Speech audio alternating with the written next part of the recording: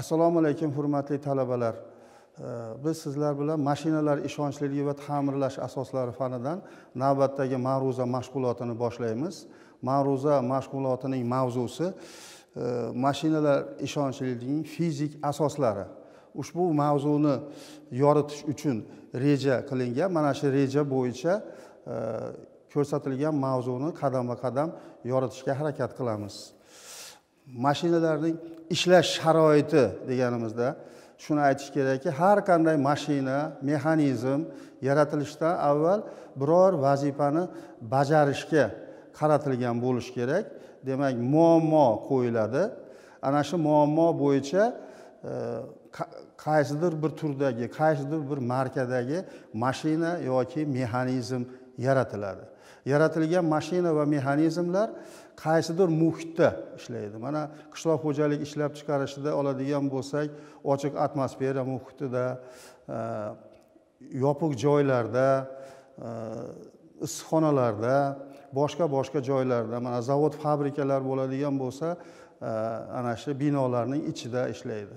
Demak har bir joyda ularga ta'sir etuvchi omillar tashqi omillar har xil bo'ladi. Shu munosabat bilan qishloq xo'jaligida e, demak ochiq atmosfera sharoitida e, ishlaydigan mashina va mexanizmlar. Demak ochiq atmosfera sharoiti deganimizda ochiq atmosfera sharoiti demak e, atmosfera havosida turli demak tajovuzkor gazlar bo'lishi mumkin.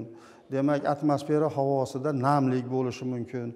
Mana shu e, ko'rsatkichlar mashina mexanizmlarini ishlatishda e, ularni saqlashda transportirovka qilishda e, detallarga metal detallariga ta'sir etib uni zanglatadi yeyiltiradi eskirtiradi.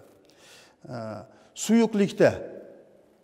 Demak suyuqlikda deganimizda moylovchi materiallar muhitida yoki suvda antifrizlarda e, ishlatiladi. Detallar mashinaning ma'lum bir detallari ishlaydi.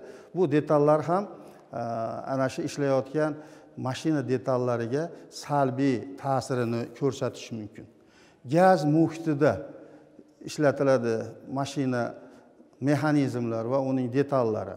Demak bunga misol qilib olishimiz mumkin ichki yonuv dvigateli e, silindr porshin gruppasini. Demak silindr porshin gruppasida e, aralashma demak yoqilg'i bilan havo aralash aralashtirilgan aralashma yonib ma'lum bir ishni bajaradi. Demak bu yerda yonish natijasida turli xil gazlar ya'ni tajovuzkor e, gazlar ajralib chiqib e, mashina mana shu silindr porshin gruppasidagi detallarni yemirishi yeyilish yeyiltirishi mumkin. Issiq va sovuqda. Mana bizni klimatimizda demak yozda issiq qishda sovuq bo'ladi. Ma'lumki mashina detallari e, turli xil markadagi detallardan tayyorlanganligi uchun issiqlikdan e, kengayishi ham har xil bo'ladi. Yoki sovuqlikdan torayishi ham har xil bo'ladi. E, konstruktiv jihatdan mana shu narsalarni hisobga olinmasa mashinalar ishlash vaqtida e, belgilangan vazifani bajara olmasdan ishdan chiqishi mumkin. Zaharli gazlar muhitida. Demak e, har xil gazlar atmosfera sharoitida bor. Bundan tashqari e, qishloq xo'jalik ishlab chiqarishida dehqonchilikda ekinlarni yetishtirishda organik mineral o'g'itlar ishlatiladi pestitsidlar gerbitsidlar ishlatiladi ulardan ajralib chiqqan gazlar ham mashina detallarini e, yemirib zanglatib oksidlab ishdan chiqarishi mumkin. Quyosh radiatsiyasi ta'sirida ta'siri ostida ishlaydigan mashina va mexanizmlar. Quyosh radiatsiyasi ham demak e, mashina detallariga salbiy ta'sirini ko'rsatishi mumkin. Misol uchun rezina texnik e, detallarini oladigan bo'lsa quyosh radiatsiyasi ta'sirida ular tez eskirib ishdan chiqish mumkin. Keyingisi yuklanib. Har qanday mashina va mexanizm yaratilayotganda unga e, yuk ko'tarish qobiliyati ya'ni texnik talablar qo'yiladi. Shulardan bittasi yuk ko'tarish qobiliyati. Ana shundan ortiqcha ishlatiladigan bo'lsa mashina mexanizmlar kuchayib kuchanib ishlaydi. Natijada ular tezroq ishdan chiqadi tezroq yeyiladi yoki egiladi yoki bukiladi yoki sinishi mumkin. Mineral o'g'itlar muhitida qishloq xo'jalik mashinalari demak shu ekinlar ekinlarni e, oziqlantiradigan qishloq xo'jalik mashinalari bevosita mineral va organik e, o'g'itlar bilan ishlaydi. Mana shu bevosita muloqotda ishlaydigan joylarini shu zangbardoshlik xususiyatlarini Э, demak konstruktiv jihatdan hisob kitob qilayotganda ko'rib qo'yish maqsadga muvofiq bo'ladi. Negaki boshqa detallariga nisbatan ertaroq ishdan chiqadigan bo'lsa ana shu qishloq xo'jalik mashinasi ishga yaroqsiz deb topilishi mumkin. Yuksiz ishlatish yuksiz mashina demak ma'lum bir yuk bilan ishlash kerak deb aytdik. Demak yuksiz ishlaydigan bo'lsa undagi silkinishlar ortib ketadi. Demak silkinishlar natijasida ichki kuchlanishlar sodir bo'lib mashina detallarini yeyilishiga ishdan chiqishiga sinishiga yoki egilib bukilishiga sabab bo'ladi.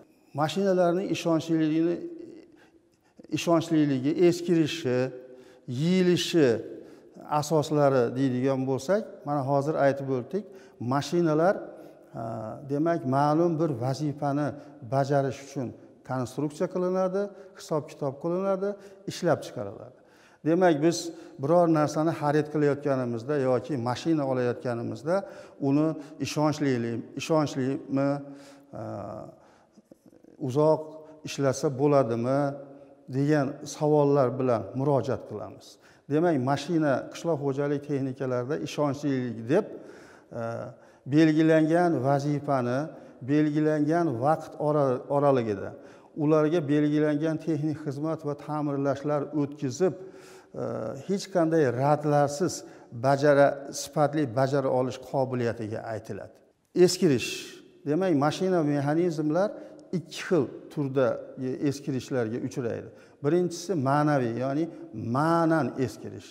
Yillar davomida ko'p yillardan avval shu biror mashina ishlab chiqilgan ma'lum bir vazifani bajarmoqda. Lekin ma'lum vaqtdan keyin ana shu vazifani bajaradigan e, unga ikki barobar e, oz vaqtda bajaradigan ish unumdori unumdorligi yuqori bo'lgan mashina ishlab chiqariladigan bo'lsa avvalgi ishlab chiqqan mashinamiz ma'nan eskirgan bo'ladi.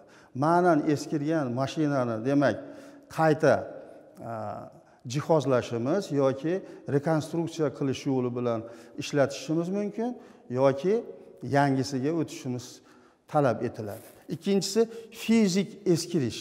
Fizik eskirish mana o'z öz o'zidan ma'lumki mashina e, ishlatiladi saqlanadi joydan joyga ko'chiriladi.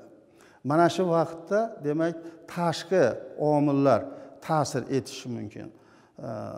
Tashqi muhit demak tashilayotganda e, yo'lni demak gadir budurligi yoki tekisligi e, uni tushirishdagi ma'lum bir sabablar va boshqalar. Undan tashqari ana shu e, fizik eskirishda mashina bekor turadigan bo'lsa ham og'irligi ta'sir etishi mumkin. Mana shunda demak mashinalarimiz fizik eskiradi. Ya'ni bular tashqi omillar ta'sirida ular yeyiladi yemiriladi zanglaydi egiladi bukiladi. Yeyilish deganimizda har qanday mashina detallari ma'lum bir konstruktiv jihatdan geometrik o'lchamga yoki joiz o'lchamlarga ega. Mana shu joiz o'lchamlargacha ana shu mashina detallarini ishlatish maqsadga muvofiq hisoblanadi.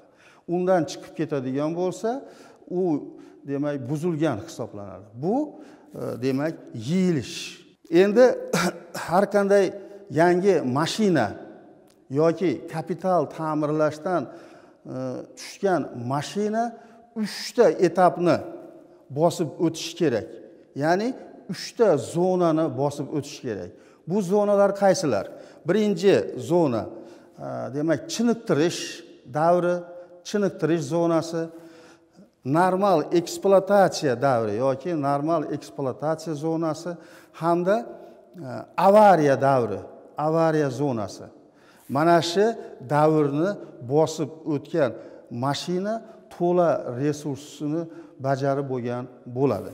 Endi bunda chiniqtirish davri nima degani? Chiniqtirish davrida e, yangi ishlab chiqilgan mashina yoki kapital ta'mirlashdan kelgan mashina detallari bir biri bilan kirishib bir biri bilan moslashib olishi uchun intensiv detallar yeyiladi va bir biriga moslashadi. Mana shu birinchi davr qanchalik sifatli o'tkaziladigan bo'lsa ikkinchi davr yoki ikkinchi zona normal ishlatish davri shunchalik uzoq bo'ladi. Uchinchi davr demak avariya davri. Avariya davri demak mashinani tashkil qilgan barcha elementlar ya'ni detallar joiz o'lchamdan chiqib ketgan davri hisoblanadi. Bu davrda ham e, mashina detallari intensiv yeyilishga uchraydi. Endi mashinalarni asosiy tashkil etuvchilari mashinani asosiy tashkil etuvchilari konstruktiv elementlardan hamda nokonstruktiv elementlardan iborat. Konstruktiv elementlar deganda mashinadagi biror vazifani bajarishga qaratilgan detal hisoblanadi. Masalan porshin tirsakli val gilza va boshqa boshqalar. Endi nokonstruktiv elementlar deganimizda nokonstruktiv elementlar konstruktiv elementlarni belgilangan vazifani bajarishi uchun ko'maklashuvchi vosita yoki element deyiladi. Ya'ni demak prikladkalar salniklar tortqilar e, yoqil e, moylash materiallari bunga misol bo'la oladi. Mashina detallarida demak e, uchraydigan e, demak ishqalanish turlari. Demak har qanday mashina faoliyat ko'rsatar ekan har qanday mashinani ishlatar ekanmiz e, ular ikki detal yoki bir necha detal birgalikda bir zveno bo'lib ma'lum bir vazifani bajaradi. Vazifani bajarish jarayonida bir biri bilan muloqotda bo'ladi. Ya'ni ishqalanadi. Demak sirpanib ishqalanadigan demak bevosita ikkita detal bir birini yuzasida yoki ish bajaruvchi yuzada sirpanib ishqalib ish bajaradi. Ikkinchisi dumalab dumalanib ishqalanish. Bu sharikli pachimliklarda kuzatiladi. Demak sharikli rolikli pachimliklarda e, detallar ma'lum bir vazifani bajarish jarayonida dumalab ishqalanadi. Quruqlayin ishqalanish. Demak moysiz ishqalanish. Keyingisi chegaraviy ishqalanish. Shunday detallar borki e, ular e, demak moylash materiallari tarkibida ichida turadi. E, ma'lum bir burovchi moment bergandan keyin ular demak muallaq holatga keladi. Demak bu chegaraviy yeyilishga kiradi. Suyuqlikda ishqalanish ishqalanish. Suyuqlikda demak suvda moyda ishqalanish bular yana mashina detallari e, suyuqlik bilan sovitiladigan ichki yonuv dvigatellarida antifrizlar bo'ladi. Antifrizlar doimo ma'lum bir bosim bilan harakatda bo'ladi va mana shu harakatlanish jarayonida e, mashina detallarini demak ichki yuzalari ishqalanib muhit ta'sirida detallarni rad berishi ya'ni buzilishi. Biz aytib o'tdik demak mashinaga mashina detallariga ikki xil muhit ta'sir etadi. Ta, e, fizik muhit hamda kimyoviy muhit. Demak fizik muhit ta'sir etganda mashina detallari deformatsiyalanadi. Egilib bukiladi sinadi e, yana magnitsizlanadi charchaydi toliqadi yeyiladi yemiriladi. Mana shular demak fizik muhitdagi detallarni rad berishiga olib keluvchi omillar hisoblanadi. Endi kimyoviy muhitda e, detallar demak elektrokimyoviy zanglashga uchraydi kimyoviy zanglashga uchraydi e, yuzaviy zanglashga hamda hajmiy zanglashga uchraydi. Demak kimyoviy zanglash nima degani? Kimyoviy zanglash demak bevosita mashinalar faoliyat ko'rsatayotganda unga e, ishlash davomida e, detal yuzalariga tushgan kirliklar e, agressiv muhit demak tushib bir yupqa parda hosil bo'ladi. Bizni sharoitimiz kunduzi issiq kechasi nam E, havo salqin havo bo'lganligi uchun nam paydo bo'ladi detal yuzalarida. Va detallar ana shu chang hamda agressiv muhit ta'sirida zanglashi mumkin. Elektrokimyoviy zanglashchi? Elektrokimyoviy zanglash shu yuzaga kelgan elektr e, elektrolitlarda kimyoviy reaksiya bo'lib e, mashina detallari zanglaydi. Endi yuzaviy E, zanglash. Bundan tashqari kristallar aro zanglash bo'ladi. Yuzalarda zanglash tirna e, yop e, himoya qoplamari buzilgan detallarda kimyoviy modda agar metal yuzasiga tushib qolsa ana shu yuzalarda zanglash jarayoni yuzaga keladi. Har qanday mashina detallari tayyorlayotganda ma'lum bir e, buzuqliklar paydo bo'lishi mumkin. Bu buzuqliklar qanday? E, atomlar aro e, demak tirqishlar yoki molekulalar aro tirqishlar bo'lishi mumkin. Mana shu tirqishlarga demak tashqi kimyoviy muhit kirib buni kristallar aro e, hajmiy zanglashlarga olib kelishi mumkin. Mashina detallarida yeyilish turlari. Demak mashina detallariga bevosita qandaydir ichki yoki tashqi kuch ta'sir etadi. Demak u birinchi mexanik yeyiladi. Keyin molekulyar mexanik yeyilishi mumkin. Zanglab e, yeyiladi toliqib yeyiladi erozion yeyiladi e, kvitatsion yeyiladi. Bular qanday bir tushuntirish mumkin.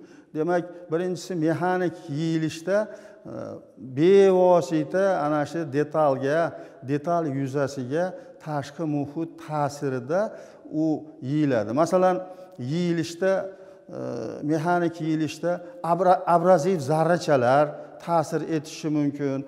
Har xil qirindilar ta'sir etishi mumkin. Mana shular natijasida ishqalanib ana shu detal yuzasi yeyiladi yeyilish natijasida yemiriladi. Molekulyar mexanik yeyilishda ham demak molekulalar aro e, yoki issiqlik ta'sirida detalni e, elastikligi yo'qolib ularda demak molekulalarni harakati braun harakatiga o'tganda ular e, molekula molekulalar molekular yeyilishga sabab bo'ladi. Endi zanglab yeyilish har qanday mashina tashqi muhitda namlikda e, tajovuzkor muhitda oksidlanadi oksidlangandan keyin zanglaydi. Zanglagan metal demak hech qachon qaytarib bo'lmaydi. Uni chiqarib yuboradigan bo'lsak e, qolgan detalni geometrik o'lchamlari texnik talablardagi o'lchamlarga to'g'ri kelmay qoladi. Abraziv toliqib yeyilish toliqib qanday toliqib yeyiladi mashina bir xilda doimo bir xil kuchni kuch ta'sir etib ishlayveradigan bo'lsa ishlayveradigan bo'lsa ma'lum vaqt o'tgandan keyin u albatta toliqadi albatta charchaydi va yeyilishga uchraydi.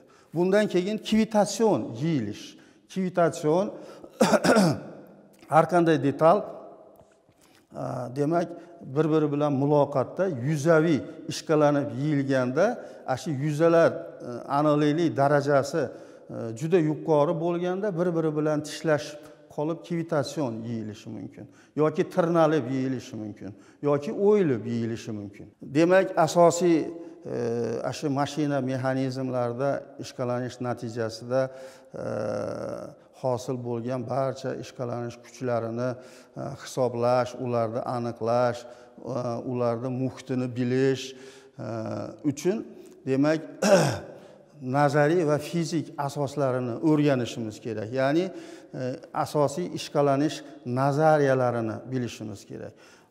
Asosiy ishqalanish nazariyalari bir necha turlarga bo'linadi. Ishqalanishning mexanik nazariyasi. Ya'ni bevosita shu yuzaga ma'lum bir e, ishqalanish kuchi ta'sir etib yeyiladi. E, ishqalanishning molekulyar mexanik nazariyasi. Demak molekulalar aro e, demak qandaydir buzuqliklar bo'lganda ana shu kuch ta'sirida yeyilish kuzatiladi.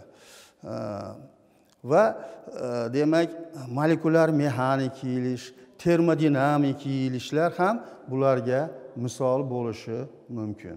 Ana shu mashina mexanizmlarida e, ishlatish davomida ularni transportirovka qilish davomida ularni saqlash davomida e, ularda uchraydigan demak radlarni yoki yeyilishlarni yoki buzilishlarni aniqlash usullari juda ko'p. Ulardan birinchisi mikrometraj qilish usuli. Ya'ni e, ana shu belgilangan o'lchov asboblari yordamida e, yeyilish kattaligini aniqlash. Keyingisi tarozida tortib aniqlash. Demak har qanday detal tayyorlanayotganda uni og'irligi albatta texnik talablarda ko'rsatilgan bo'ladi va shu texnik talablarda ko'rsatilgan tafovut demak ma'lum bir vaqtdan keyin uni yeyilish kattaligi bo'lishi mumkin. Yana e, gidravlik usul bor. Gidravlik usulda demak buni ko'proq botirish usuli ham deyiladi. E, demak suyuqlikka har qanday e, ma'lum bir jism e, tushirilsa unga monand ravishda shuncha suyuqlik demak tashqariga tushadi. Mana shu usul bilan buni ko'proq arixmet usuli ham deyiladi. E, aniqlanadi. Yana boshqa boshqa gadir budurliklarni aniqlash usullari bor. E, shu yuzalarni gadir budurliklarini e, demak maxsus o'lchov asboblari bor. Shu gadir budurliklarni yoki tekislikni aniqlash asboblari bor. Mana shular orqali demak o'lchash mumkin bo'ladi. Demak mavzuni mustahkamlash ko'nikma hosil qilish uchun e, e'tiboringizga tayanch so'z va iboralar keltirilgan. E, bu tayanch so'z va iboralar bilan e, demak talaba shu o'tilgan mavzu bo'yicha ko'nikmalar hosil qilishi mumkin. Shuningdek mavzu bo'yicha sinov savollari keltirilgan. Bundan tashqari ushbu fan bo'yicha shu fan nomi bilan atalgan kanalda foydalangan asosiy hamda qo'shimcha adabiyotlar demak elektron variantlari hamda kafedramiz professor o'qituvchilari tomonidan yaratilgan e, uslubiy ko'rsatmalar o'quv uslubiy majmualar shuningdek e, o'qituvchilarning telefon raqamlari va maillari keltirilgan. E'tiboringiz uchun rahmat.